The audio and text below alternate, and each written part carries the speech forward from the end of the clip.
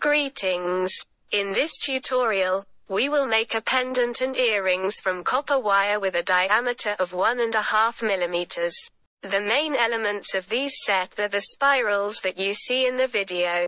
For a necklace, we need three pieces of wire 1.5 millimeters in its diameter and 25 centimeters, 30 centimeters and 35 centimeters long.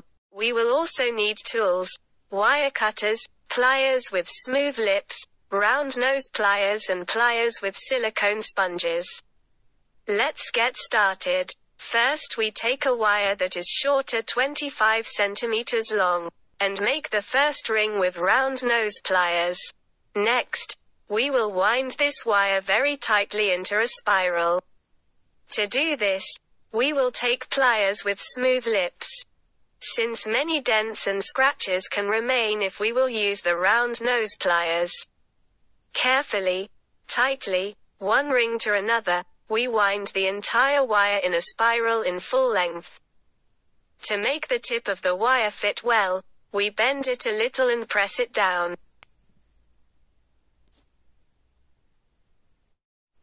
Thus we will make all three spirals. Take the next wire 30 centimeters long.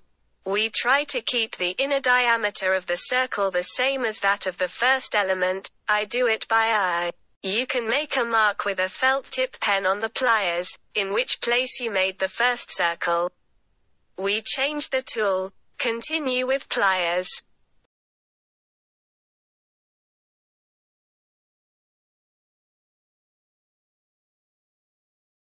The second element is ready.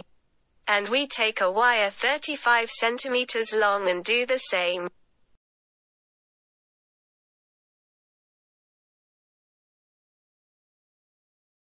We change the tool and wind the third spiral.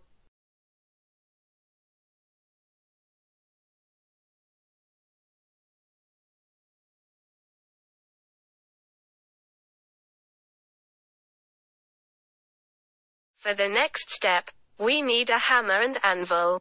I have several.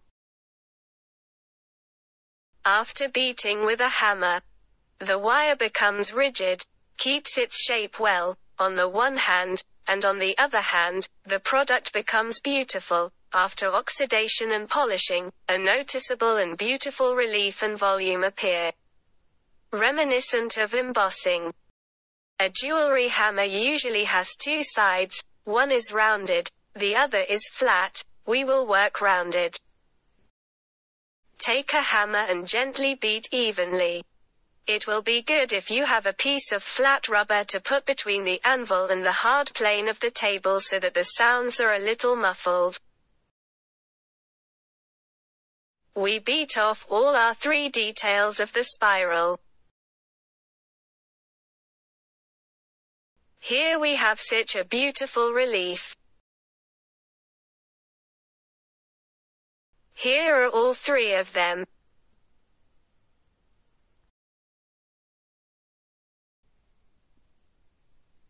Now along the way I wanted to make the tips of these spirals flat.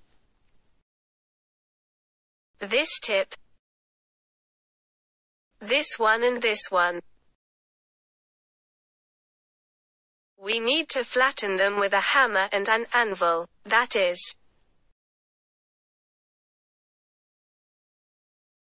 Tap them longer and more carefully on both sides.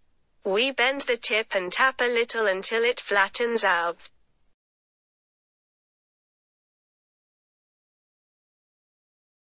And we will do this for all three. We put the flattened ends back in place.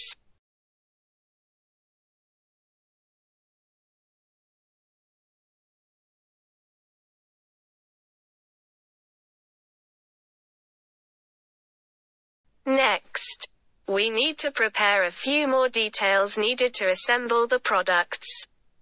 Three segments with a diameter of 1 mm, 15 cm long and two segments 25 cm long.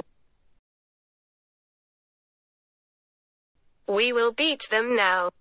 As well as the main three spirals, on the anvil with a hammer. Let's do everything one by one.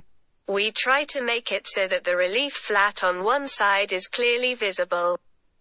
From these two wires 25 centimeters long, we need to make a fastener, a lock and, and ring, which we will then attach to the ends of the pendant. We take one piece of wire 25 centimeters long and we will make a hook. We bend it in half.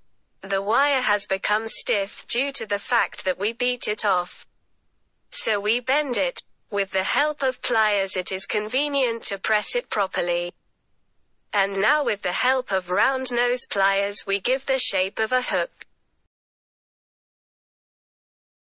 Here is a hook. We will stop at this for now. When the pendant is ready, we will finish it. We will clamp the ends of the cord with these pieces of wire. Now from the second segment of 25 centimeters we will make a ring. In the center, we bend the wire and make a ring with round nose pliers with a diameter of 6 to 8 millimeters. That's the way.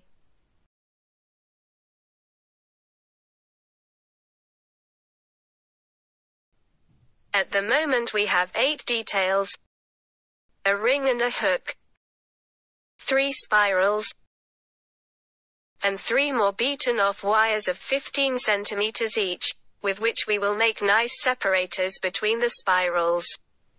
When we start to assemble later, everything will become clear. Why do we prepare all the elements in advance? We need to oxidize, patinate, them all, because after we collect all of them on a cord, and we will not be able to do this without damaging the cord itself. There are many ways to patinate copper. There are several methods. I use a liquid for blackening non-ferrous metals. This is a solution of sodium chloride and sulfuric liver. For patination in this way, you can use either a glass or plastic container, and also an artificial brush. Oxidation is fast. Copper oxidizes well. I will explain other oxidation methods in another video. Do not be afraid to get your fingers dirty, they are well washed off, although it is an acid, so take care of your eyes. Wash your hands immediately afterwards, Avoid getting drops of the solution on your clothes. The amount that I dropped, about a teaspoon, here is enough to oxidize the entire surface of our piece as well. Don't let the black color scare you, this is what it is now. After we wash and polish everything, there will be a very beautiful oxidized copper color. We look carefully so that everything is covered with a solution and there are no gaps. Well, it's ready. Next, we will thoroughly wash it all in running water. You can use an old toothbrush and dish soap. We will continue to work with clean details.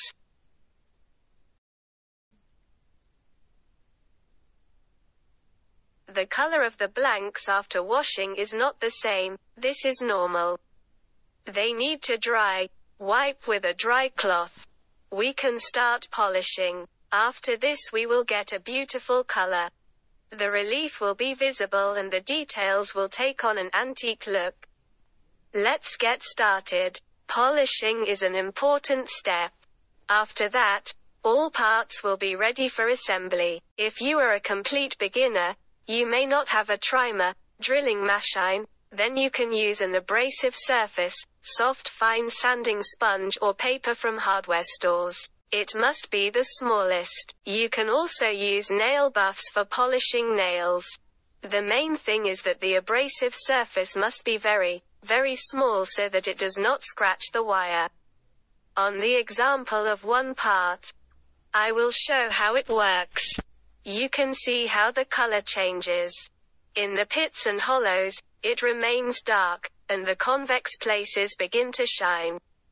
Thus, a beautiful relief is obtained. The future product will look outdated. We process every detail from all sides so that everything is beautiful.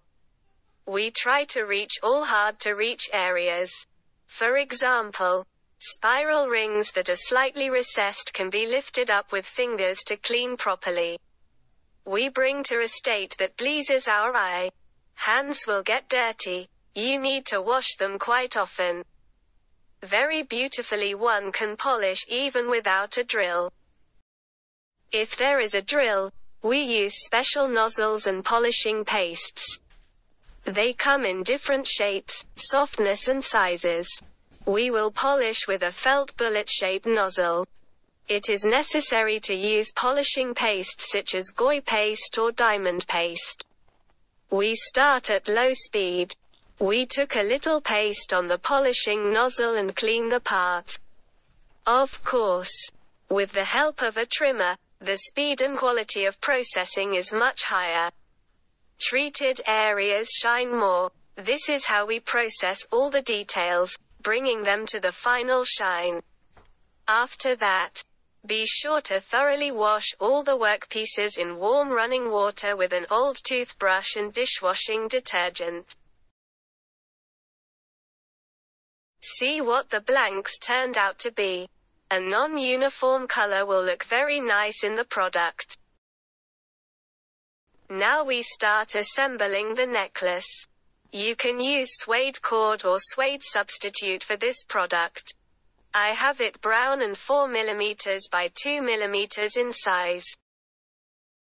I took 90 centimeters and folded the cord in half. We will cut off the extra pieces after trying on the product. Take the largest ring, our first spiral, it will be at the bottom of our pendant. We pass the cord to the it center.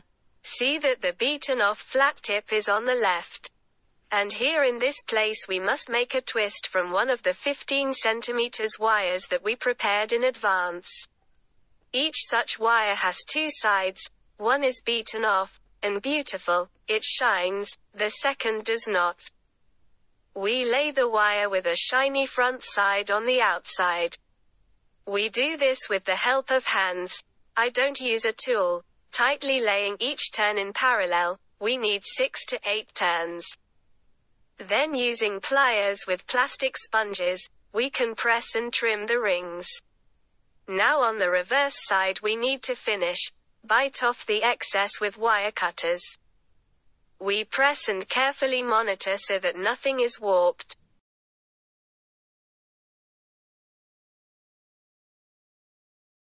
The next ring. We look so that the beaten off end also remains on the left. Now let's weave a little. We take the upper cord and thread it into the center from above, and the lower one into the center from below. That's the way. And now our next connection should be here. We connect. Carefully connected and now we continue to do the same with the next third element.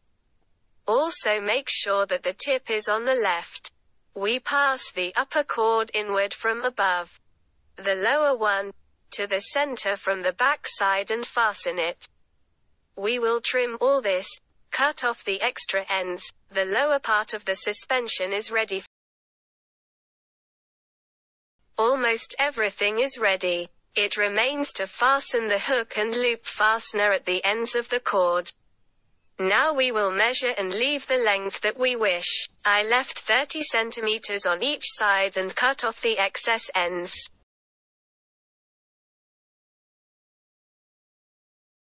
Now we need to finalize the hook and ring. In this place we make rings, spreading the ends on both sides of the hook.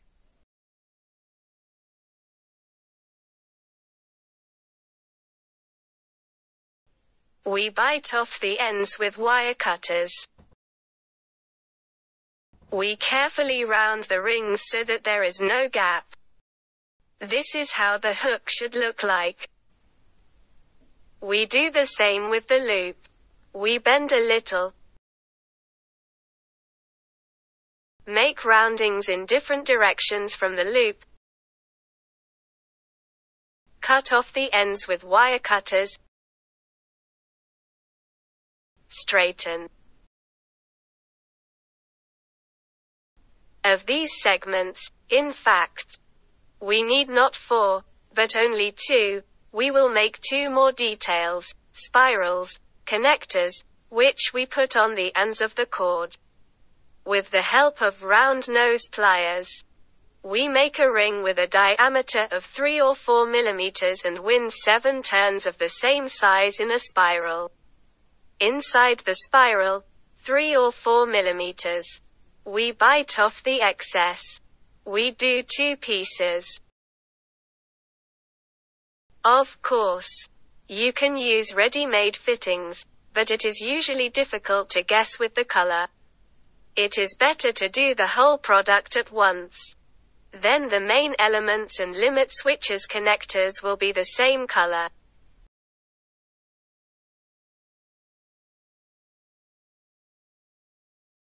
Further, we need to bend one ring from these connector, it gives us chance to put hook and ring. Now we take one end of the cord. For density you can bend about 1 centimeter and put it on trailer coil on this suede end. You need to push the end as far as possible.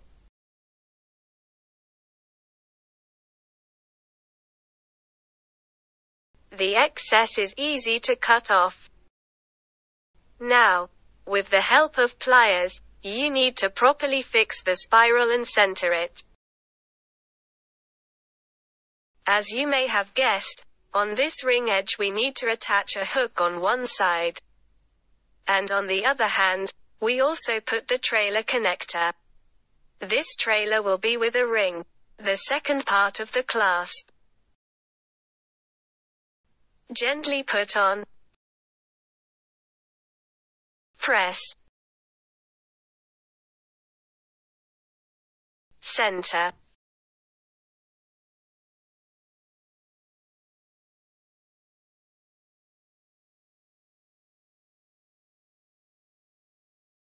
It turned out a nice stylish pendant and lock.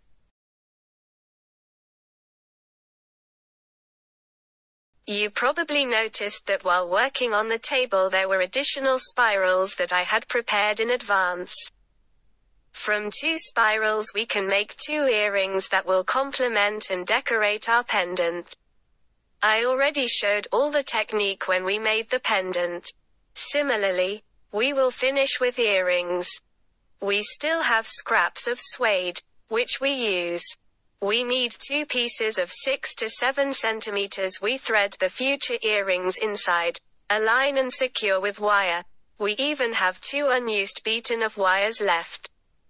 We fix it the same way as we did it in the necklace. Look. We need to finish the earring right way. In this place, at the top, we need to make a ring on which we can fasten an earring fastener. Therefore, we will now bite off the lower end on the back of the earring with wire cutters, as we did with the necklace, then press it well with pliers.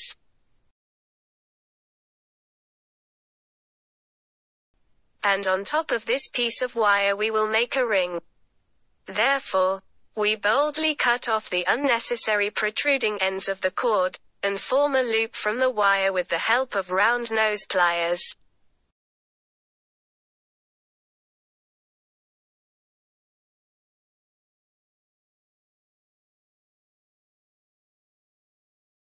We cut off the excess again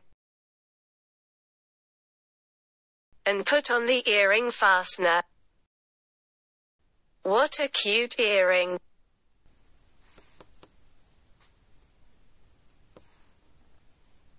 We do the same with the second earring. The set is ready. We satisfied with the result.